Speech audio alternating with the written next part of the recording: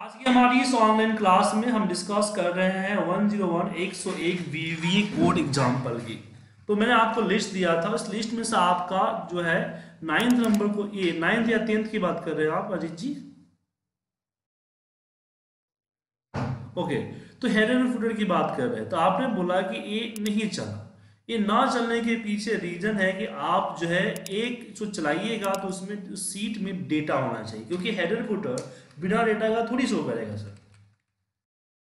तो सबसे पहले आपके डेटा में हेड आपके एक डेटा होना चाहिए, ताकि वो हेडर फुटर डाल सके। तो हमने एक काम किया डेटा बना लिया राइट अब डेवलपमेंट में जाता हूँ पे जाता हूँ और एक मॉड्यूल्स को इंसर्ट करता हूँ।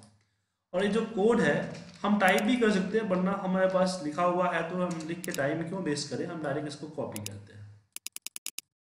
ठीक है?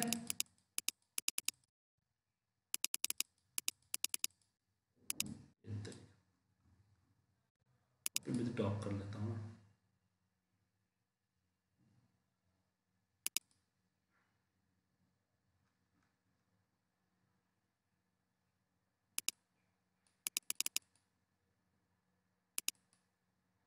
एक मिनट दीजिए हाँ। क्वेश्चन नंबर आपका ये जा रहा है नाइन्थ नंबर क्वेश्चन है।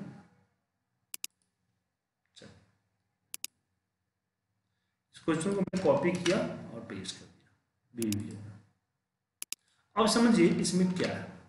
इसमें जैसे कि सब यहाँ पे लिख रहा है डेट इन हीडर राइट यहाँ पे लिखा है active sheet dot page setup उसका header left header centre header right header footer, ये आपको दिख रहा है ना सर तो इसमें क्या है कि आप जब आपका जो एक्सेल जब हिडन फुटर पे इंसर्ट पे आते हैं तो यहाँ देख लीजिए इंसर्ट करता हूँ, यहाँ पे हिडन एंड फुटर तो ये इसके तीन पार्ट होते हैं लेफ़्ट सेंटर हिडन दिख रहा है आपको सर तो अगर आपको इसमें कुछ डालना है तो इस इन्वर्टेड कॉमा के अंदर में आप डाल दीजिए।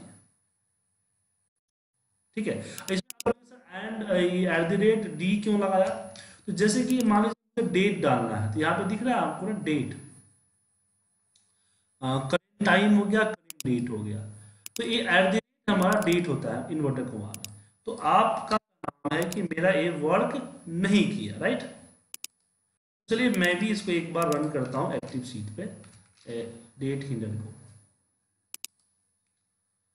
मैक्रोज एंड यहाँ पे। वर्क कर गया।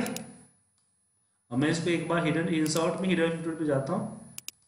और यहाँ पे। दिख रहा सर? डेट दिला हुआ sir. Good morning good morning sir कैसे हैं तेजेंद्र जी? तेजेंद्र जी, कैसे हैं? और हम तो सर लॉकडाउन हो गया हमारा सिटी सर आप लोग भी लॉकडाउन है क्या?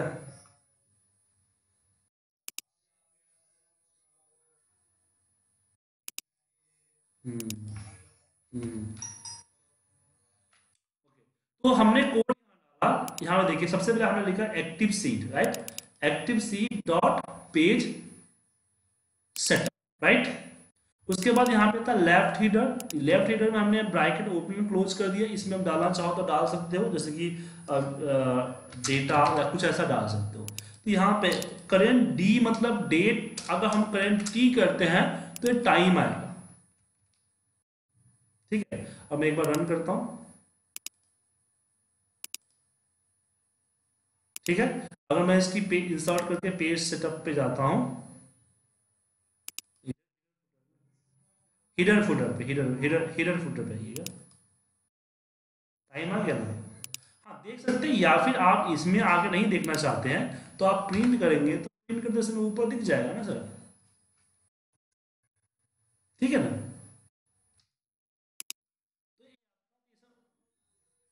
हाँ मैं कर देता हूँ। ये समझ में आया सर आपको? क्लियर है? तो हीटर का हो गया? अब फुटर के लिए यहाँ पे फुटर है। आपको क्या करना था? आप यही इसी चीज़ को देखा था। अभी जैसे हमने डी की जगह पर टी कर दिया तो टाइम हो गया। अब मुझे पता नहीं था कि टाइम नहीं होता है टी से बट हमने बोला कि डी से डेट है तो टी से टाइम होगा। मैं इसमें एफ़ डाल के देखता हूँ। एफ़ डाल के देखता हूँ, क्या होगा? क्या बोले एफ़ डाल के देखता हूँ, क्या होगा? एफ़ से अलग फ़ाइल का नेम आएगा। क्या? इसको प्रिंट करता हूँ।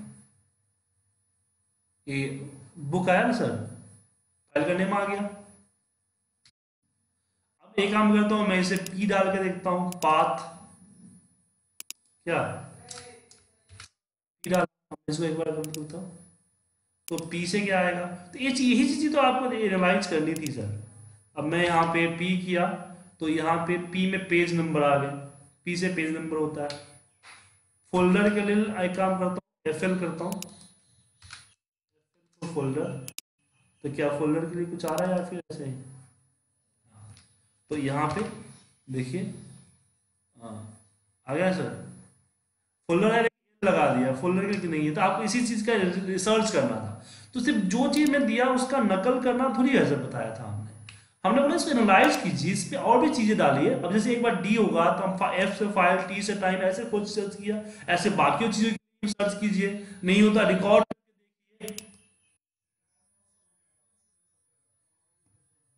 सिंपल सा समझ में आ रहा है कि यहाँ पे पेज सेटअप हो रहा है, यहाँ पे left header centre header right header footer अब लेफ़्ट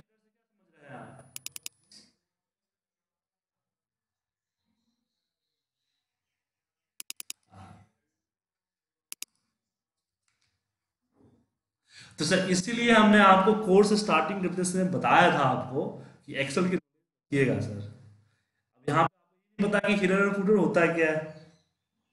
कहाँ पे मिलता है? तो सर तो ये तो खुद करना पड़ेगा ना सर आपको।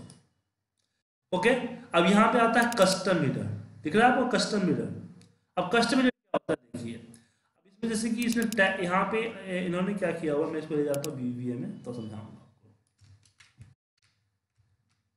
सर, ये फ़ाइल आपके पास है धीरेन्द्र जी, कि नहीं?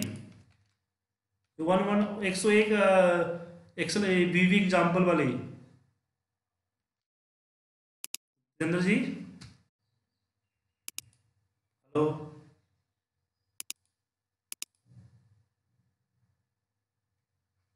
जितेंद्र जी, सुन पा रहे मुझे आप? भेज दिया ऐसे उनको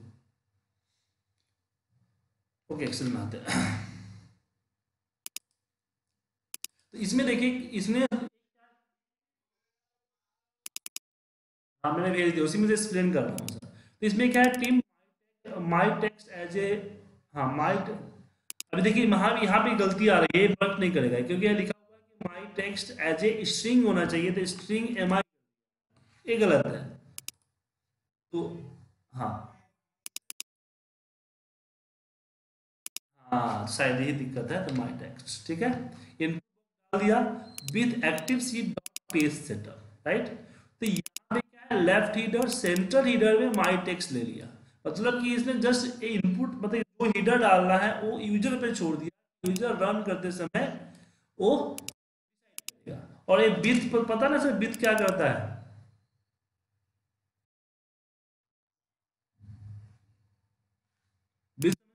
सर आपको? देखिए, अगर मैं बिल ना लगाऊँ तो मुझे क्या करना पड़ेगा, पता है सर? कि मुझे यहाँ लिखना पड़ेगा page setup dot header equal to इस तरह से लिखना पड़ेगा। ठीक है? और ये चीज़ हाँ ये चीज़ मुझे हर लाइन के लिखना पड़ेगा। जैसे मुझे अगर कस्टम हीडर एक, एक, एक सेंटर हीडर चाहिए तो भी मुझे यहाँ लिखना पड़ेगा।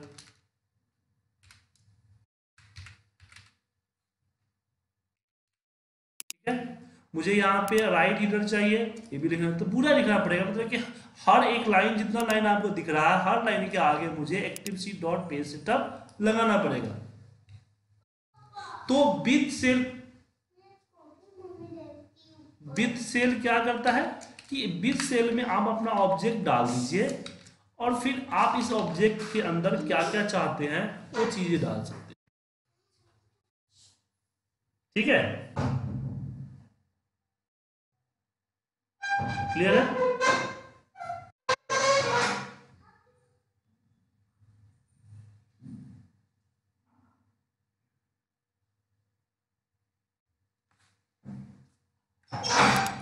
बीत चीज़ लिए लगा हुआ है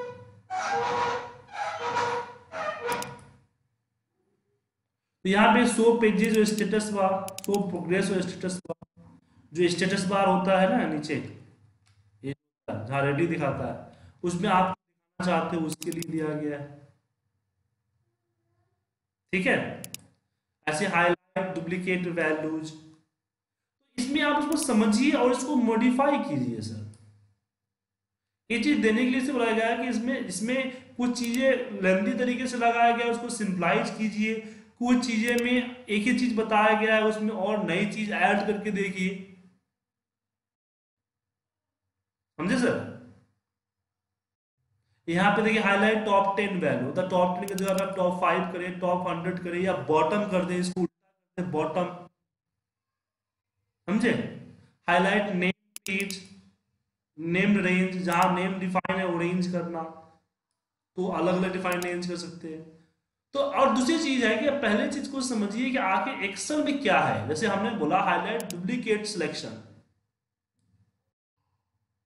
तो ये डुप्लीकेट सिलेक्शन मैनुअली क्या होता है?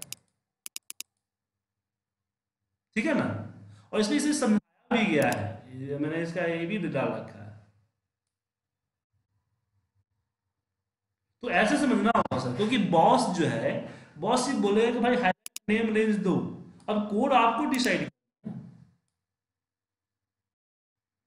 तो इसको और जो है और ज़्यादा देखिए और उसको मॉडिफाई कीजिए और फिर मॉडिफाई कोड को मुझे भेजिए। कोई दिक्कत होता है तो उसी समय उसका स्नैप लीजिए और मुझे व्हाट्सएप कीजिए। ठीक है?